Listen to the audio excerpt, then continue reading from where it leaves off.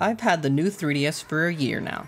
It's time I play more games that utilize a second control stick. Of course, first person shooters. That's perfect.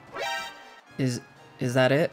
Well, it turns out the 3DS doesn't have a lot of first person shooters.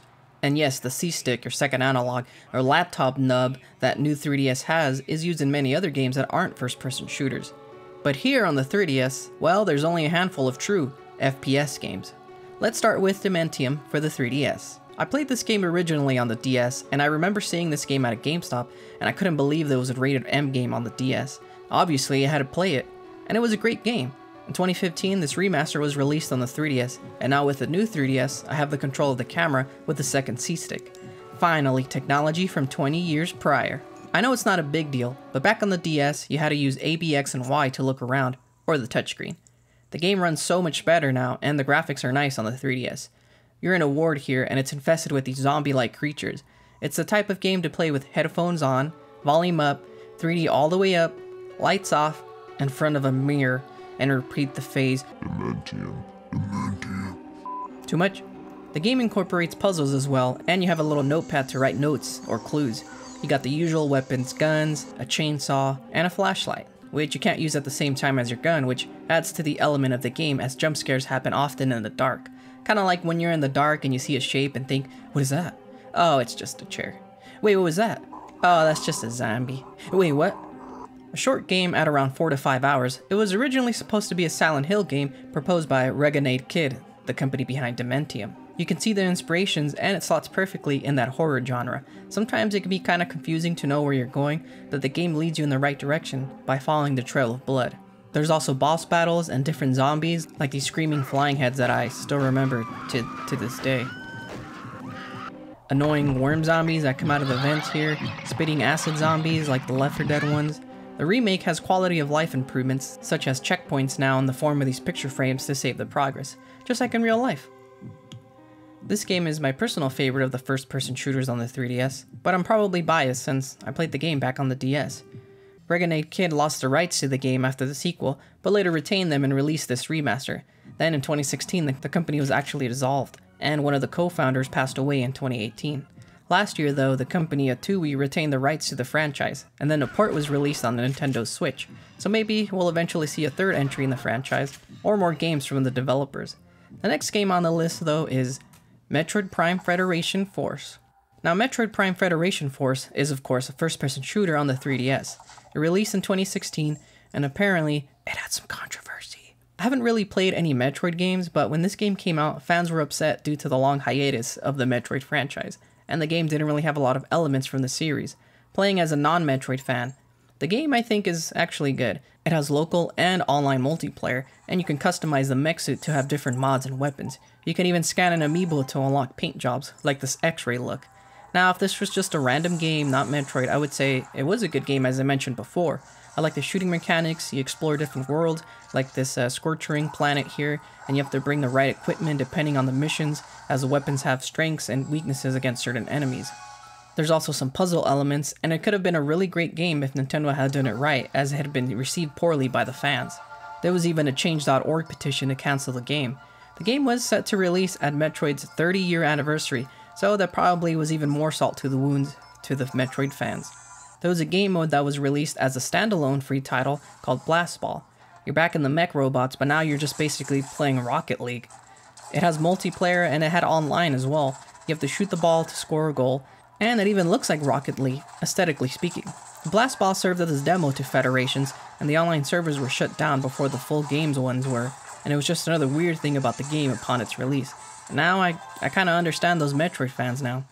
The next game on the list is Moon Chronicles.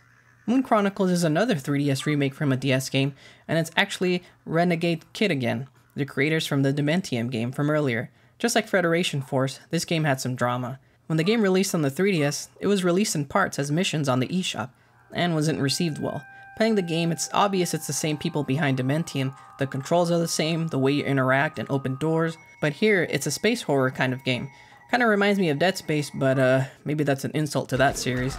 But it does have some interesting gameplay mechanics. You get a little droid to remote control into small spaces to help you navigate throughout the levels, but I feel like they overuse it and I have to bust the drone out every room. The story is interesting, you're on the moon fighting aliens using technology that the game explains all came from the Roswell incident. I think the game engine and the way the game plays suited Dementium better as the faster gameplay in Moon. I don't know, something is off about it. Although you have complete control of the camera and whatnot, the hit detection is slightly off when shooting the enemies. The different alien weapons are cool though and the graphics are nice, except when you use the drone the screen kind of zooms in into the ground and you can see all the lines in the game. But I usually play with the 3D on at all times, because I think it enhances the graphics of the games. And yes, my eyes are fine, okay? Once you pass the chapter 1, you can download the next chapters from the main menu. Uh-oh. The first episode released for $8.99, and the remaining three were $4.50 each, and it was scheduled to release in Europe. But it never did. Heavy Fire the Chosen Few. Heavy Fire the Chosen Few, say that three times fast. Technically, this is an on-rail shooter, so does this count as a first-person shooter? It's like those arcade shooter games with the plastic gun you point at the screen type of game. Here on the 3DS though, you don't actually use the analog stick to aim. You use the touchscreen and you slide the stylus across the screen to aim.